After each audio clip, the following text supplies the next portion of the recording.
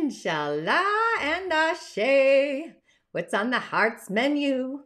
The magic of unconditionally loving our heart self, trusting and loving the process, along with creating the field of protection, knowing as, or also known as boundaries, energetic, protecting the process of how far we've actually come in our internal love story.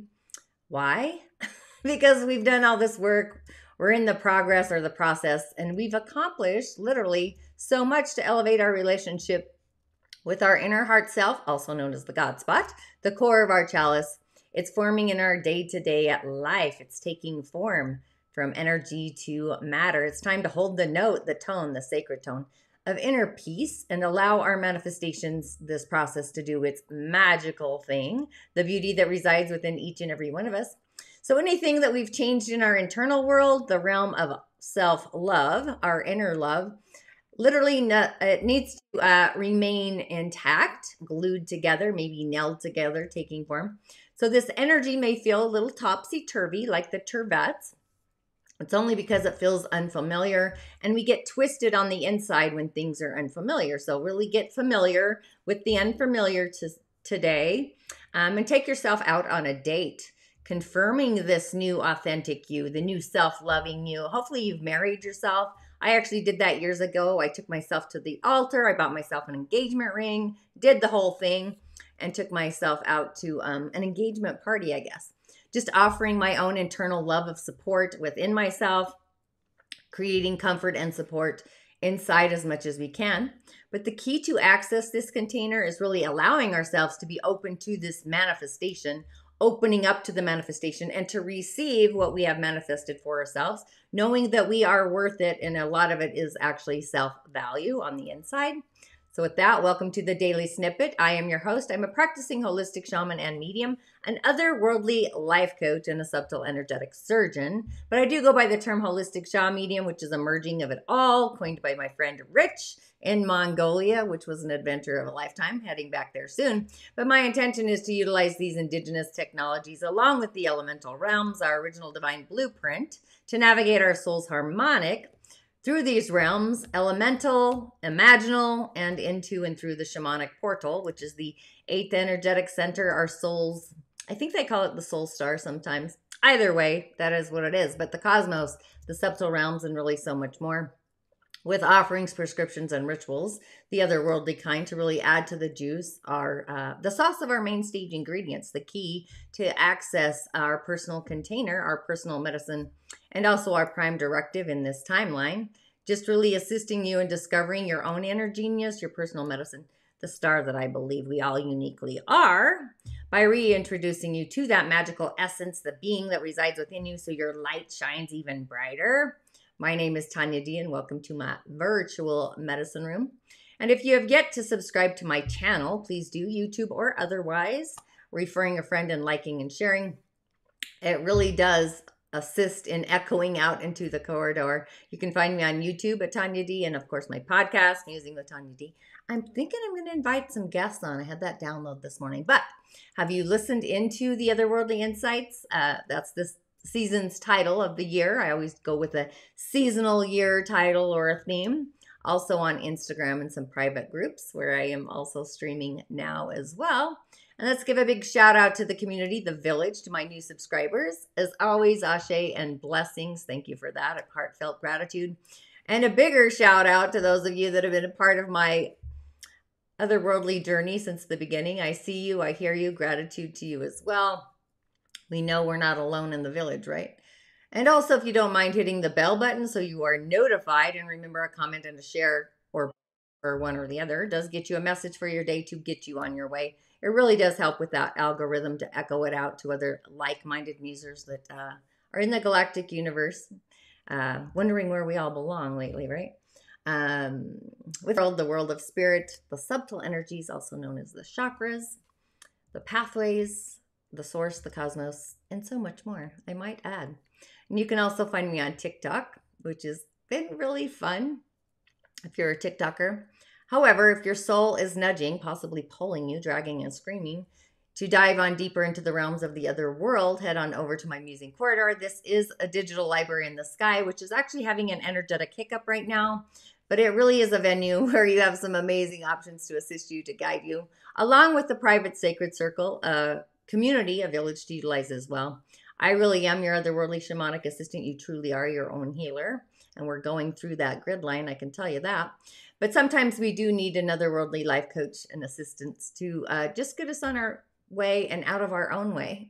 So, with that, just a few announcements. The meditation circle was yesterday. You can actually tune in on YouTube and Premiere and watch that. And the early bird opportunity to invest in yourself. That door is open to utilize your intuitive gifts and your psychic abilities. The world of energy, merging the intuitive energy, the spirit realm into the physical, into the body, being embodied, uh, energy to matter, bringing spirit to matter to change your star or reignite the star or activate that star. That's on the energetic highway, the star that you uniquely are. And when we begin to merge the energy body, the subtle energetic body, with our physical and our soul, we then become the being, the star that we are actually uh, meant to be, lighting up our starlight who we are. And in the season of Libra, in our container, in relating or of relating, the main stage ingredient really is relationships and partnerships in our inner corridor, internally and then out outer outernally is almost what i said. But right now these inner relations are really taking form. Uh, the me self in the chalice coming to the earth star spirit again to matter. And if again you did miss the meditation portal that is on premiere on youtube. But i am loving this loving self-love creator energy the energy taking form making something become real something that has was once an idea, maybe in the ethers, the etheric, into something that is self sustaining, being full embodied embodiment. It's manifesting our relationship to our me self, in your case, your you self, but all this energy, all the energy and the work that we've been doing since the beginning of the season of Libra, it's all really uh, coming together to take form, to take shape. So it's like, what are you making and creating beauty? Beauty transforms that self image transforms the mirror, minds within myself, right? And with what my heart values. If I'm not feeling valued, that energy exchange, what I deliver to you, will literally be of that value. Um, picking up when I'm throwing down, hope that makes sense. But there may be moments where we feel tested on our elements of interchange, the ingredients in our personal cosmic soup pot. But the key to mastering this energy is that loving sensation. Love is the master key, um, and protecting what the core of our heart loves. Uh, loving the changes of what we are creating. I am certainly loving mine, even though I do have a little glitch here, an energetic hiccup with Mercury just coming out of the closet, if you or know what I'm talking about. But it's the relationship that's an internal love garden. So you may feel as if there is more to do. However, it's simply holding space and trusting the process taking that breath, taking that pause, hug and embrace yourself, especially during the process. It really is like hugging a tree or hugging your outer self, your authentic self, nurturing that aspect of who you are. But again, welcome to Amusing Monday and on the chalice here for your options. I went with dogs, cats, and fish. Don't ask why. That's just what toned in this morning. But note, uh, note that you have uh, done the internal work you've really married yourself, your heart, you're having a heart to heart communion, if you will. Maybe you took the vow, like I did. You may begin to feel challenges occurring in your relationships to other, to people, situations, events, and things. They may appear real, but today's not the day to really participate in. We are just holding space, holding that inner note for our inner heart, that love story that we're rewriting. So just really take notice, take note of where you see room for uh, growth in your relationships and partnerships to expand in your outer realms, the outer world, the world outside of yourself. We're going to start to address these symptoms soon and create a solution. So just take space, loving space with trusting and loving your manifestation station, whatever it is you're creating with Creator, and all the work that you've been doing on the internal realm. Because all these changes are coming into form, they're manifesting again energy to matter. If uh, you're picking that up things are kind of quiet in my space right now. So that's interesting. But again, you've got dogs, cats, or fish.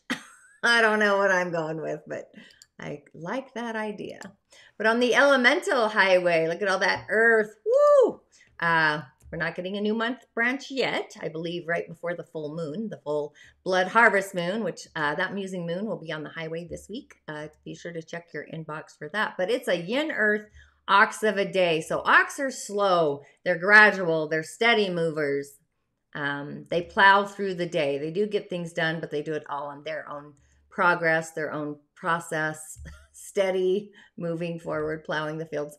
But yin earth, we do need the sun to add some warmth. Yin water as well, like a river, a nice mist of rain to add moisture to all that earth. We got a lot of earth there which is supportive for our day. Our our day is actually weak, but it is supported. It's got other elementals around it. But remember, yin earth is fertile soil. I always feel uh, compassion for people born with a yin earth day master because the fertile soil is a lot. Um, it's it's holding space. It has all the living creations are sprouting from it. They're plentiful. They're very different. So, what does that even mean? So, if this was a person born under this element, knowing you're resourceful, you're creative, why? Because you have the main element right next to you. You've got a yin earth next to you, and you have another one right below you with the ox. So, natural born nurturers, life coaches, highly adaptive, which allows them to uh, nurture the most or utilize the most of what they have, no matter what life is throwing at them. So that's curious. They love to see things grow. That's what gives them the highest pleasure. So today's energy is one of a natural born teacher, a coach, like soil that supports the growth of grass and trees, unless, of course, the establishment is tearing down the earth to build more of the concrete jungle. Adversity happens in those conditions, and the adversity does energetic damage, sometimes unseen, but you can feel it. But yin earth provides resources for other people to grow around them. So that's why sports and coaches, sport coaches usually, they usually have this element. Um, but they're often sick also. They're sick, usually having allergies, a lot, really, a lot of them. Why? Again, because the soil has so many different life forms that live within it. It's its own dimensional realm. But um, they're useful. They're useful as nutrition for plants, but the best way to treat yin earth people or a day full of all this yin energy is with herbs. Uh, the body reacts the best with organic live substances. It reminds me of like sprouting foods, sprouts, uh, specific to the quantity and the size of it. But our day is weak, but we do have an abundance of it, which is a big field. So they can grow a lot of wood or grass sprouts, which means if this was a person, again, they have a lot of uh, careers, different careers, and a rich relationship with life. But the sun, we really do need the element of big fire, and we also need some nature, some plants to grow. But on the month, we also have a friend God, a friend indeed. You know, um, these are like uh, creating meaningful relationships and bonding, spending time in our social circles. And on the year, we have what's called the communicator. So this is storytelling, communication, persuasion, perfect for sales, acting, writing, and any other creative artistic um, skills or abilities. So this is like a friend who communicates through uh, storytelling or artistry. That's kind of um, the frequency of today. But herbs, I think we need to take some herbs or be aware of herbs. Earth, I'm telling you, Earth. I'm not even going to go into that rabbit hole. However, back to our options dogs, cats, or fish. Look at that. I couldn't, I like the fish I chose. I'm just saying that out loud. I could have put my dogs and cats on there. That's awesome. Okay, our messages um, being that uh, things are taking form today energy to matter, spirit to soul. So things are flowing. So if you chose the dogs, I usually don't go in a circle, but I guess I do. If you chose the dogs, you get the King of Wands. So look at all that fire, torches, fire, action. I almost said sorcery actually. But you can see that this is a strong willed man. He's sitting on the edge of his throne. He's scanning the horizon. It kind of feels like Zeus. I'm just saying. But he's ready. He's yearning for action and sitting still. Woo! Tending to the mundane. That's very boring. Uh, this is Mars energy. It's the sun. It's Jupiter. It's fire, right? Which we do have Jupiter and Chiron in the season of Aries, and Mars is in the season of Gemini. But this is being determined. It's focused. It's drive. You're being driven something's has your full attention, you're channeling all this energy and the skill in that direction, having a strong sense that you are right in all the things concerning this venture, whatever your capitalism is, I guess. So your ambition and the social needs are really engaging Uh, for now, that really is all that matters. But just be aware that you that what you believe, uh, believing that you are right, that your way is the only way, could create um, disturbance. Actually, there may need to uh, temperament, creating a temperament or a character of being overly bossy, or maybe you're being intolerant of others. But I'm not really feeling that. This is putting things into action and trusting and loving the process because there's fire stirring the pot or warming the cosmic soup, initiation of that action. It's kind of what I'm seeing. Um, the cosmic soup is getting warmed up. we need that. So, following the King of Wands, if you chose the fish, look at that. You get the Ace of Cups, which I'm loving this image. I don't know. Um, so it's like the watery world of emotions. And look at that seeing eye and the chalice, the cup, the cycles of the moon, the fish, the golden fish, the horizon.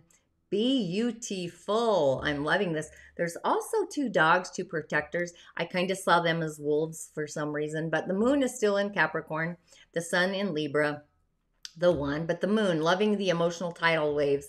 It's like, can you commit to a feeling, a heartfelt feeling, a feeling amazing, a new heart internal feeling sensation?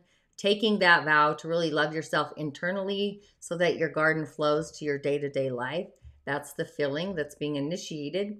But the Ace of Cups, uh, the number one, this is um, literally heartfelt loving inside of ourselves. It's idealism, romance. It's the Holy Grail, the holiest of communion, uh, God, universe, the gift of the universe. It's providing depth and feeling to our lives. It's the Holy Spirit, the guardian of our galaxy, that seeing eye. But here, the gift is purity of emotion. It's spiritual love. It's meant to guide us. So if we set our eye on spirituality, spirit, we can move more easily and we can easily see our way through uh, the tidal waves of life, those experiences, and the wide range of our human emotions, the field of emotions. So, just as the moon, which who doesn't love the moon, right? It does appear to remain the same, but it does appear differently depending on the focus of the sun so, being that we're in the season of Libra, the moon's frequency is different, right? So, our experience of these emotions varies or differs according to how we choose to see them. So, it's just like the energy of the magician, who's also a one, which is heartfelt. In the major arcana, the gift of the grail is meant to really guide us. Uh, but it can be manipulative on the other side of the magician and lead us down some uh, spiraling rocky roads. So you're being kind of drawn along by a feeling. Your emotions are engaging. You feel more alive, possibly, than normal or usual. And it may be the beginning of a new romance, a spiritual epiphany, or a desire to really express yourself uh, artistically. I'm kind of seeing paintings for some reason. But whatever it is, you are at the start of this exciting new adventure. Just be aware of running from this experience. Don't fear or discount or even avoid the intensity of our feelings. We need to validate those, even though most of the time they do feel uncomfortable at first, but just learning to identify and expressing our emotions. Um, this is kind of a continuance of creating a solid emotional foundation, emotions, and feeling amazing inside of ourselves. Very healing energy, actually, emotions if you choose to uh, play with them. And to finish up, if you chose those cute little kittens, you get the moon, which is great. This you can't make this stuff up, but this feels like an emotional tidal wave of a day. The moon, the goddess of the night. Oh, how who doesn't love the moon? Let's just be real. Uh, but the 18, this is committing to our heart. The moon commits to the heart. Our emotions are filled of permeating this energy, acting on or initiating an internal loving sensation, committing to a feeling that you can act upon or initiate that you can hold. And this is a majestic orb. It's inspiring us like no other, seriously. The moon through the seasons, she's speaking to our soul. She releases those animal instincts like wolves howling in the night. I'm thinking of like the werewolf, you know, how the people turn into werewolves, I guess. I don't know. Um, just inviting, you can see the crab coming to the opposing surface. But this kind of is an alien creature. It represents our deepest fears. And the light of the moon allows us to feel it or feel into it, but it provides enough even shadow that we can't ignore it if we're uh, we're careful, right? Ignoring the moon, the goddess of the night. So it heightens our emotions and also our intuition, um, our psychic abilities. So she's She does show us our worst nightmares, which I call the ghost in the darkness. And again, she gives us our vast dreams as well. So, two opposing forces. But the message of the goddess of the night, the moon, is that all shadowy as moonlight is it's lit in the darkest of the dark. So just paying attention to our dreams, our intuition, facing our fears, and even if you do so a little at the time, those baby steps, we tend to attend to our soul tend to our soul. Hopefully that came out right. But just be aware of not seeing clearly, of being afraid of shadows that's otherworldly, or being led astray by those shadowy images. Uh, they aren't what they may seem, but really just loving the moon. I just, um, that is a globe there, right? So maybe we create a globe of the moon, the moon on her axis, as we do for the world, spinning around. So, with the cosmic energy and an additional value and ingredient of consciousness, really taking time and space to really value ourselves within our sacred space, this progress um, that we've made within ourselves, sometimes we need to take time and space to nurture that space, which is the moon, and add up all of the ingredients, our achievements, our self certificates, and take notice of our inner wheel of progress and assume that things are building upon the sacred, trusting foundation building into greater things, baby steps. So gather all of your heart's estimates, giving yourself the benefit of the doubt. So we're manifesting a new you or a new me, and this plays out in the cosmic webbing. It's de- different for each and every one of us. There's a variety of things. But I'd bring in the element of fire to stoke your inner fires, warm up your own cosmic soup, light the fire under your cheeks, um, your butt cheeks. Uh, we also had the King of Wands, so that is also big fire. So this feels like a cosmic internal flame inside of us. But with the Earth Star online, so bringing the sound of the throat center, self expression, our hearing sister, and our verbal, verbal intuition channel to the Earth Star to manifest into our reality through our love spot or our God spot, whatever you want to call it, the sacred chalice within each and every one of us. But I would affirm that I am in my inner peace or at my inner peace, a soul's harmonic, a soul's harmony, and believing in yourself um, heartfelt wishes, dreams come true when we heartfelt believe, have integrity, hold space to manifest, allowing things to take form from the inside to the outside and taking action and going through the initiation process. So, with all of that, inshallah, ashe, thanks for tuning in. And just know I'm having a little energetic hiccup on uh, my platform, my website. Uh, so, with that, I will see you on the other side, or at least tomorrow. Ashe, blessings. Change your stars.